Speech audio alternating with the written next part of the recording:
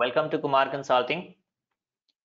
Guys, with the help of this video tutorial, you guys will be able to learn about SAP and in SAP also a particular module called FICO. So guys, this is the first session. I'll tell you guys, first session is very important session and here what i have observed like multiple video tutorials are available on multiple uh, different different platforms but if you watch the first session the first session itself is quite confusing and you are not able to understand lots of things. So what about the remaining sessions i'll tell you guys one more thing here. In sap each and every topics are closely and tightly associated with each other. So if there is a problem to understand the first topic what about the remaining? Of course the same will continue for other sessions also so now without many making any delay let me start my what to say explanations. So let me begin with the introduction guys here. Uh, because since you guys are going to learn let's suppose we are going to learn about sap so the first question which comes in our mind in the sense in your mind is what is sap so here is the answer guys and i think the same answers might be there in your mind also. Look at here systems applications and product in data processing. But is this a correct answer? Is this a perfect answer guys? So if you are going to ask me i will say i will say no. This is not the correct answer. Why? Because this is just a full form. This is just the full form of sap right? So now here what is the correct answer guys? What is sap the question is still remain and here is the answer. The answer is it's an erp it's an erp but again there is a problem. Now the next question which comes in your mind is so what is erp then? Because if you don't know erp it means again you are not able to understand about this sap so now what is this erp guys? The answer of this question is hidden in the full form of this ERP itself. So I'll just do one thing. Now let me decode here. So look at here, ERP stand for Enterprise Resource Planning. Enterprise means what? We all know enterprise is nothing but an organization. And if you talk about the resources, what are the resources required to run a particular organization? So look at here, already I have listed out here, man, money machine machines materials etc right so these are the resources which is required to run a particular organizations and planning planning about what? Planning about the effective utilizations right? Effective utilizations of what? Resources. So now here uh, if you talk about the planning it is called like optimizations of effective uh, effective utilizations of these resources guys. Now if you talk about the definitions look at here. The definition is quite simple if you talk about erp erp is nothing but a software or it's a tool which helps an organizations to do effective and optimum utilization of its resources. Right? What are the resources? Man money machines etc now I'll just quote a very simple example so that you guys will be having perfect understanding about the definitions whatever I quoted here. Now take example of any organizations. Here I have quoted example of Tata Motor. Instead of Tata Motor, you can take even example of other uh, organizations as well. Now say for example, Tata Motor is having like uh, several departments out of which few I have quoted here sales department purchase department accounts and finance department human resource department now so take example of any department. Say for example, like I have taken example of sales department, right? How many total number of employees are there in sales department? Just assume that 50 employees are there in sales department. And let's suppose Tata Motor is not using any ERP right now. So if they are not using any ERP right now, then how the things are going on guys in Tata Motor? So still they are maintaining the registers only in the sense physical registers they are going to maintain sales related transactions are going to be recorded in sales registers purchase related transactions are going to be recorded in purchase registers likewise they'll be having petty cash petty cash registers and multiple other registers will be available and they used to handle each and every transactions manually. They are not using any erp just assume okay? So if they are not eh, using any erp and manually all the transactions are going to be handled by tata motor and that too i'm talking about sales department people. So how many total number of employees are there guys? Total number of employees are 50 out of 50 employee 25 people involved in day-to-day -day transaction posting and remaining 25 involved in report preparations. I'll tell you guys report preparations are also equally important. Why? Because if you talk about the management of tata motor they are uh, very what to say keen and uh, they will be very much eager to see the reports only. Why? Because based on the reports only they will be able to take the all this upcoming actions decisions and all right? So now 25 people involved in day-to-day -day transaction posting and remaining 25 people involved in report preparations. Okay? Report could be anything. What should be the what is the monthly sales? What is the quarterly sales? What is the half yearly sales? And various like customer aging reports various kind of reports are required uh, you know asked by management and these people have to prepare and they have to produce in the sense they have to provide. Now so this is the scene right now now what will happen guys? So this is what like total number of how many employees are required? 50 employees are required if tata motor is not using any erp in the sense any software. Now let's suppose if the tata motor started to if, if they have decided to use a particular erp say for example sap itself.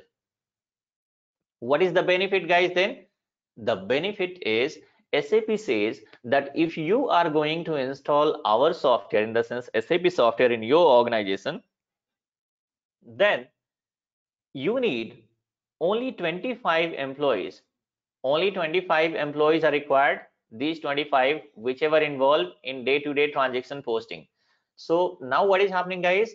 Earlier they used to maintain all the transactions in physical registers now the same registers are going to be converted into digital registers. Digital means instead of maintaining all the transactions physically in multiple registers and all now the same transactions are going to be recorded in sap so this is called a digital registers right?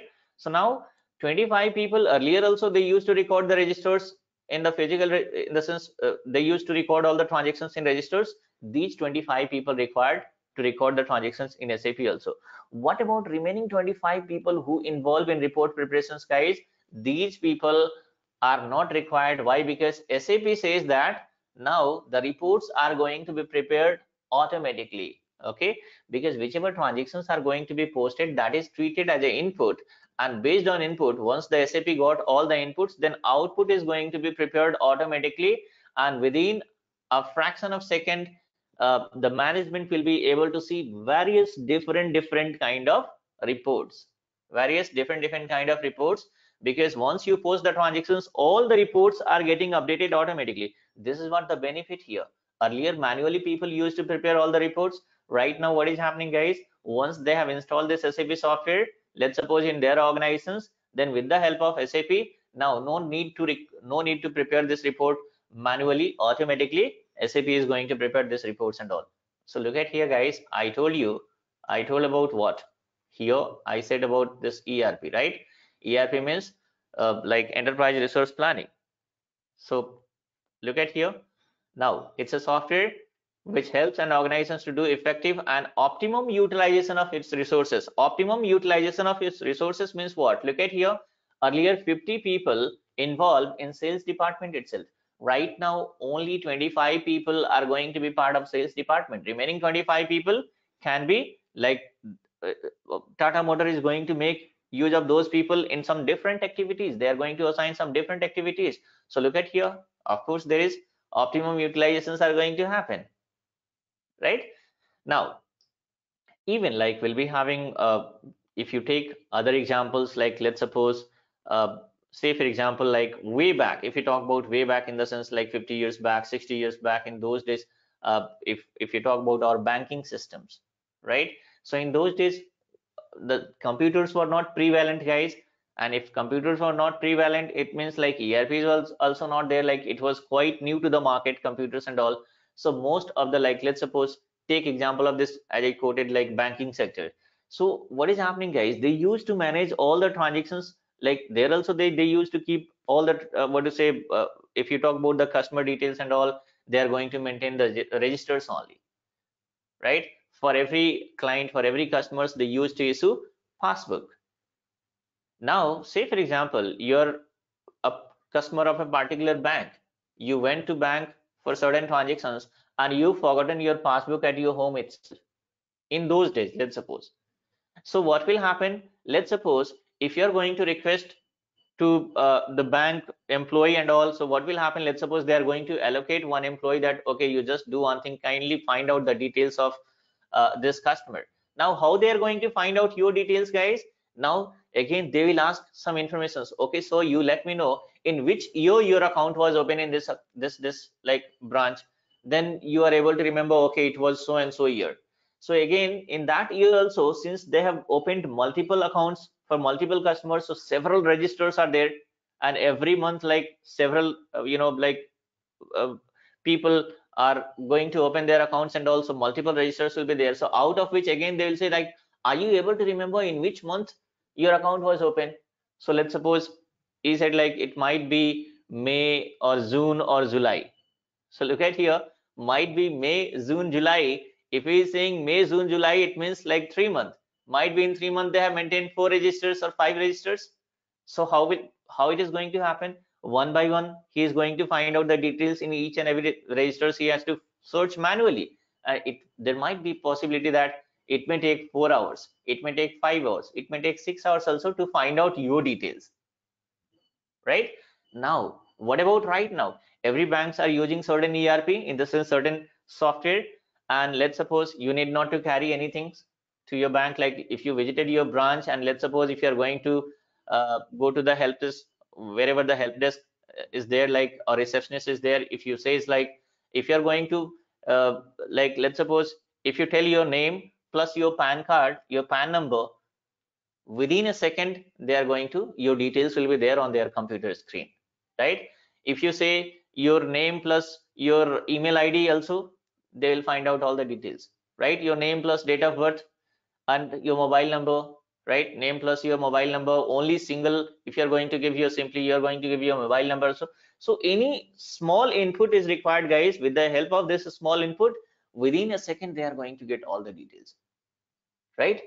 How? With the help of this software right? With the help of software and these softwares are called erp enterprise resource planning.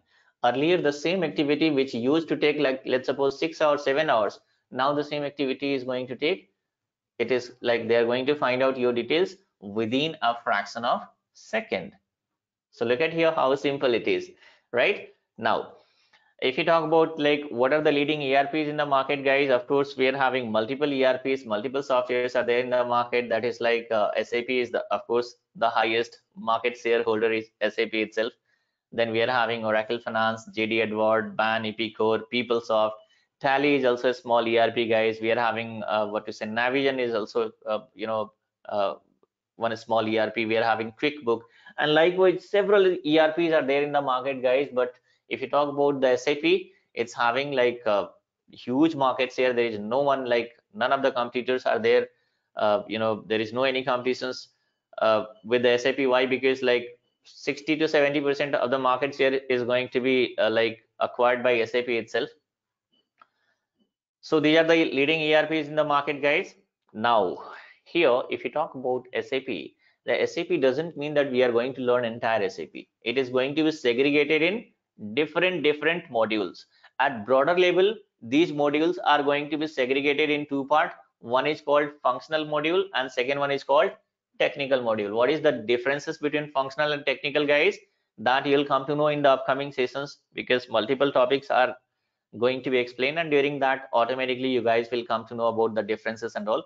It's not possible to explain each and everything in a single session itself. Now let me show you certain like example here like how many modules comes under functional module or how many modules comes under technical module. Few name i have quoted not every what to say modules and all.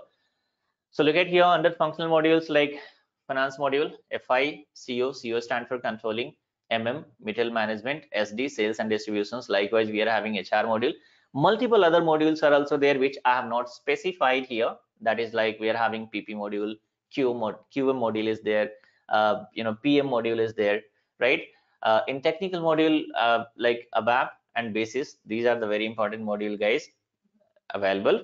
So these are the module which is there in sap so this is all about the introduction part guys now in the first session uh, in next session what will happen? I'll explain a topic called types of project.